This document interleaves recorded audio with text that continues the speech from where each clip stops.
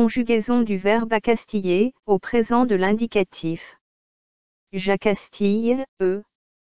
Tu accastilles, es. Il, elle accastille, e. Nous accastillons, ons.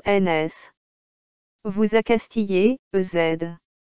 Il, elles accastillent, ent.